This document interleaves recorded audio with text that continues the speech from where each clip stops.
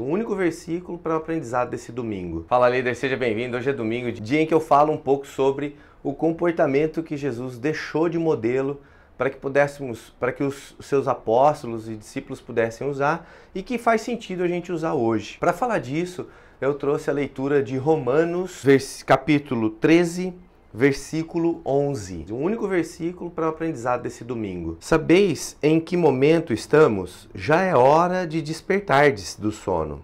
Agora a salvação está mais perto de nós do que quando abraçamos a fé. Olha que palavra super forte, que modelo, que exemplo super importante para você que está começando a sua carreira ou para você que já está na sua carreira. O que, que quer dizer essa palavra, esse exemplo de Paulo, quando ele vai falar aos romanos? Olha, presta atenção, ser pioneiro nas coisas dá muito trabalho. Ser pioneiro requer esforço, requer dedicação, requer fazer ações ma massivas, ações mais intensas. E as pessoas que chegarem depois, elas já vão conhecer com mais facilidade, elas já vão aprender com mais facilidade. Líder 360, a reflexão de hoje, do exemplo que Jesus deu, é o seguinte: quando ele começou a falar da salvação, do amor, da prosperidade, do crescimento, da multiplicação, do milagre, da cura, quando ele começou a construir o cristianismo em si, ele sofreu muito.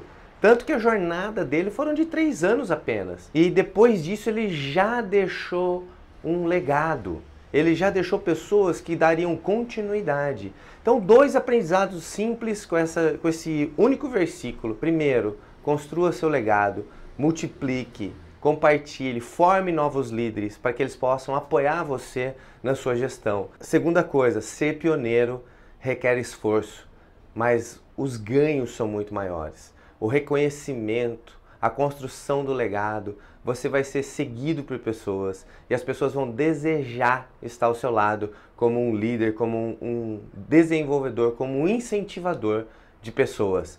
Faz sentido isso, líder? Se isso faz sentido, lembra de deixar seu like aqui. Ontem eu falei três coisas importantes que você precisa fazer em cada vídeo aqui no YouTube.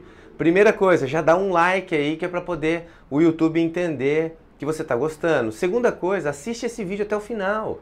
Terceira coisa, deixa seu comentário. De uma forma ou de outra, o algoritmo do YouTube entende que isso é importante, que isso é um conteúdo rico e impulsiona para outras pessoas e você se torna coautor do crescimento e desenvolvimento do maior número de líderes. E teremos então líderes servidores, líderes 360 na sua totalidade. Obrigado por você estar comigo até agora. Manda seu comentário ou o seu WhatsApp aqui nesse número que está passando e eu te vejo amanhã com mais uma sacada de liderança. Até mais.